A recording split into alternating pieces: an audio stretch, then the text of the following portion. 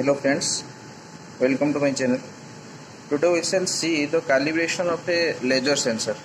As you can see, this is a laser sensor of IFM make.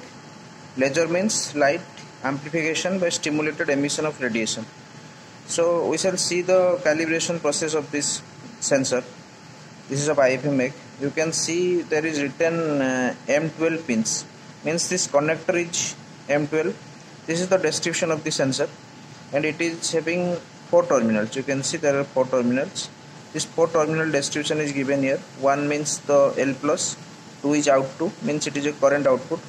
Three means the negative and four is out 1 its power supply rated power supply is 24 volt DC you can see the back it is written 18 to 30 volt DC so we'll give it 24 volt DC and uh, another thing is this is IFM make this is the model number okay?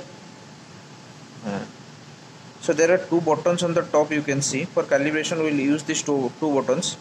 One is mode or enter another is set. And this is the display. So when it will be powered on this display will come. And it, uh, when the display will on you can see two numbers of LEDs will glow over here. One for power and another for the unit selected. So if we will select the unit in mm the mm LED will glow if we will select the uh, unit in meter the meter LED will glow and similarly for inch and out one and out two these are these two out out one and out two are configurable means we can either configure it for um, analog or for digital. If we will configure for analog then we will get the current output and for digital we will get the voltage. So before powering on you can see some safety guidelines are written over here. Avoid exposure laser light emitted from the surface means when it will be powered on from this this is the surface where from where the laser light will come out. So please don't go in front of this okay? So avoid uh, falling of this laser light on uh, on your surface okay? So you can see this is the sensor okay? So for powering on you can see we have used one 24 volt DC SMPS this is the SMPS from where we will provide it 24 volt DC to the sensor. Okay? Uh, first um, noting the milliamps. Here we have used one multimeter. Okay? So we have kept it in milliamps uh, condition and we see the milliamps. Okay? Uh, so this is the sensor and this is the cable. As I have told you earlier there are four pins and at the inside the socket you can also see there are four number of pins. And this is the cable that we will use okay? So the, this cable is having four terminal at its end. One is brown which will be used for this one L plus means the line okay? So one number terminal will be collect, connected to this brown that we have already connected it to the DC power supply you can see okay? So another is third number. Third number is L minus. This one is the blue cable this is the negative means the ground of this 24 volt DC this has been connected to this. This is the current feedback this white cable. Means the uh, out one. This will give the current feedback okay? And this is the black one. This will give the voltage feedback. So we'll go go briefly go through the calibration. In the calibration we can see the settings so that we'll get the voltage feedback on this black wire okay so let us power on this sensor. For powering on I have already switched on this 24 volt power supply. So this uh, after connecting this uh, connector to this socket this will be powered on. So before connecting just take some safety aspects regarding this connector. Uh, please note that this should be properly fixed to this connect uh, socket. Means this is the connector cable connector. You can see one notch mark is there. This should be fixed to this white mark so that it will be properly fixed. Okay so let us fix it. As you can see this has been fixed. Now just I am tightening it. So after switching on you can see the display has come on the surface of the sensor. This is the display. This display value is fluctuating because the ray coming from this is falling on different objects which are far and nearer to this sensor. So the value of the display is changing as I have told you earlier after powering on you can see the power LED is glowing and the unit has already been selected in mm so the mm is glowing. This one is out one and out two. So for calibration we'll use this mode or enter button and another is the set button. You can also see in the millions multimeter as I am changing the sensor position means the object position the millions value is also fluctuating. Okay? You can see it is ranging from four 4 millions to 20 millions it is fluctuating depending upon the condition or the position of the object. Okay. So let us see the calibration. For calibrating we will use this two button. Now just press this one.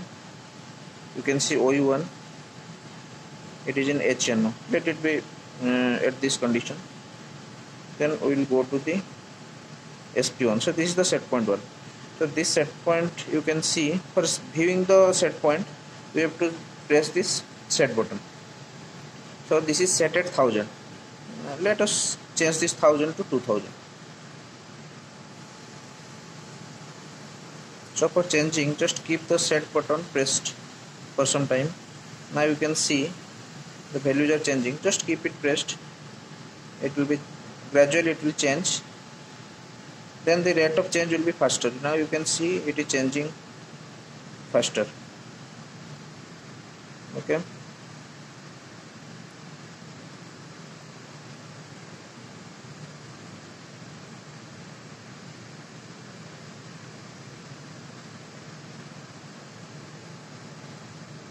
So now it is set at 2000 2000 in mm okay let it be 1990 no problem.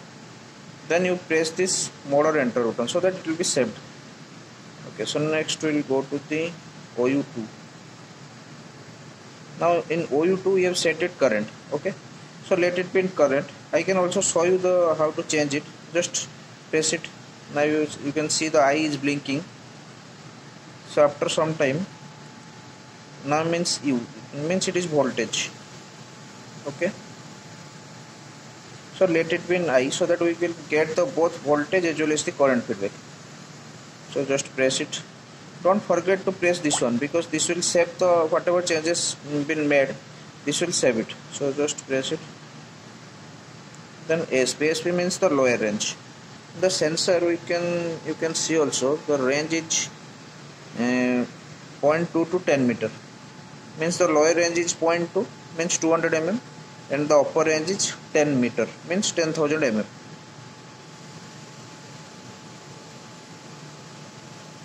okay again we will go to that. So ASP is 0 and AP you can see 999 means it is 10,000 9,999 mm that is almost 10,000 mm so let it at that condition. Now we'll come out from the programming mode. Now you can see on the display it is showing 18,000 1800 mm 1900 mm so as you can remember we have set it at 1990 mm means when it will be lesser than that this out one LED will glow. Okay? So now you can see the milliamps is fluctuating as per the distance of the object. When the object is moving far away the milliamps is going increasing. The display also you can see it is showing 4500 now it is gradually coming down okay? So you can also see in the milliamps multimeter it is showing less okay? We shall see the voltage feedback. For voltage feedback if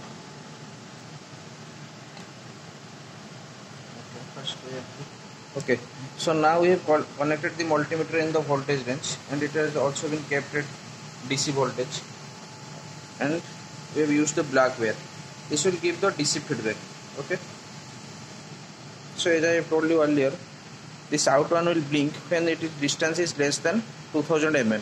Now the distance is less than 2000 mm so the out one LED is blinking. As you can see in the display it is showing 1960 so if we will increase it you can see now the out one LED goes away. Also the voltage over goes, goes away. You can see when it comes below 2000 the voltage showing here is 23 or 24 volt also here it is showing 1900 mm. Okay? So this is 1900 mm. And it is coming closer. If it goes more than that more than 2000 mm this voltage will go away. Okay? So this for this will get the voltage feedback. And current feedback I have already told you so this with this we finish the calibration process of this laser sensor. Thank you for watching